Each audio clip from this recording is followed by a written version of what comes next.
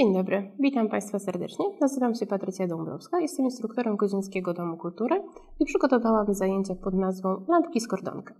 Do ich przygotowania potrzebujemy lampeczek wybranej ilości, moje mają akurat 20, najlepiej na baterię, ponieważ będziemy mogli je zawiesić w dowolnym miejscu.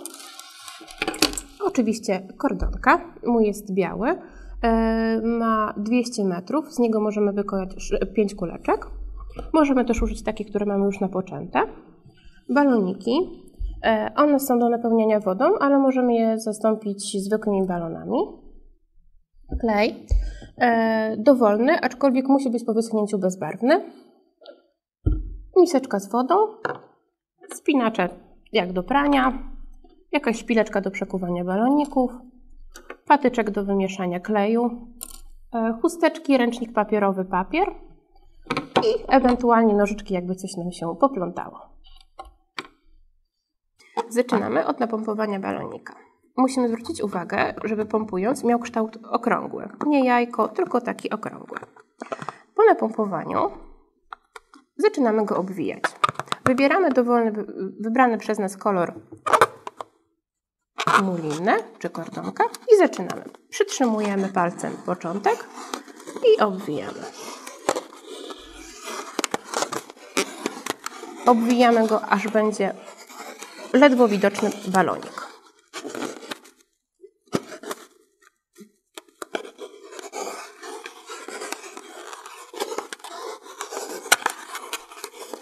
Możemy dociskać naszą mulinę, tak aby ten kształt kulki był cały czas widoczny.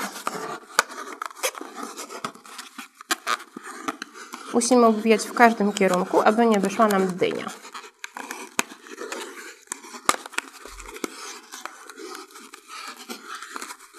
Jak wspomniałam, z jednego kordonka zrobimy około 5 takich kulek. Są trzy techniki klejenia takiego, takiej kuleczki. Ja pokażę Państwu tą najłatwiejszą, najprzyjemniejszą i najczystszą.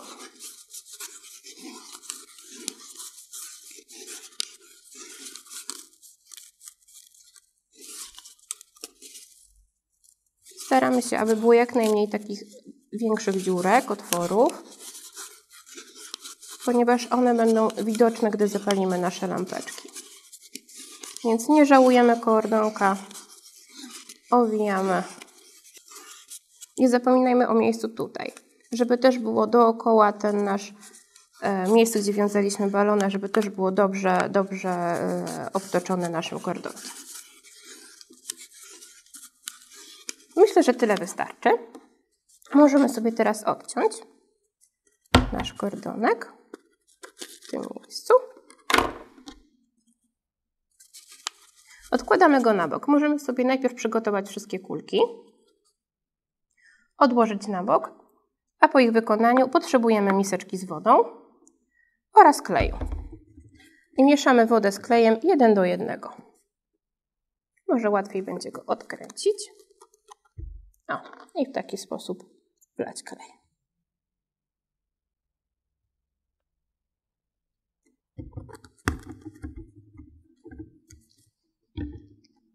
Teraz patyczkiem sobie mieszamy. Można też użyć na przykład pędzelka. Jeśli chcemy, aby nasze kuleczki się błyszczały, możemy dodać w tym momencie na przykład brokat do naszej wody z klejem.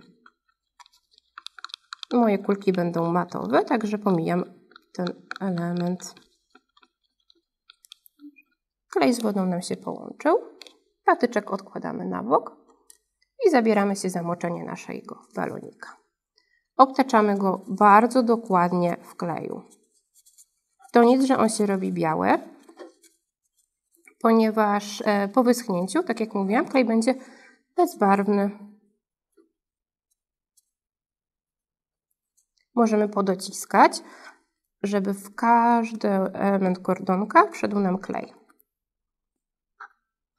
Klej bardzo łatwo zmywa się z rąk czy z ubrań, więc nie musimy się obawiać, że się potem nie domyjemy. Kulka jest oblepiona. warto jeszcze na koniec sprawdzić, gdzie jest nasza końcóweczka i ją ładnie obtoczyć. To, co mamy nadmiar kleju, potem będzie potrzebny nam teraz papier. Przykładamy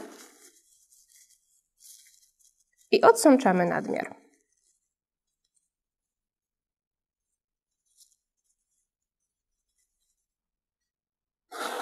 Jeszcze jeden. Jeśli tego nie zrobimy, to przy wysychaniu cały nadmiar kleju nam spłynie na dół i powstanie bardzo brzydka bańka kleju. Odsączony, wkładamy co nam się tam ewentualnie jeszcze odczepiło i mamy gotową pierwszą kuleczkę. Takie kuleczki zaczepiamy na suszarkę na pranie.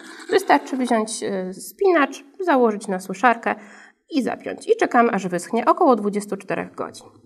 Tak wygląda gotowa kulka.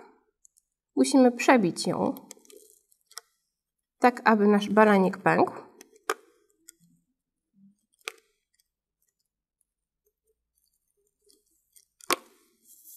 Mhm. I jak schodzi z niego powietrze, powolutku wyciągamy. Nie śpieszymy się, aby nam nie uszkodził kształtu. Balonika się pozbyliśmy, mamy gotową kuleczkę.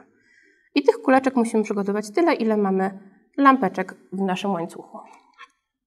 I teraz bierzemy światełka, rozwijamy je i na każde nasze światełko, każdą taką żaróweczkę nakuwamy nasze kuleczki. Mamy jedną.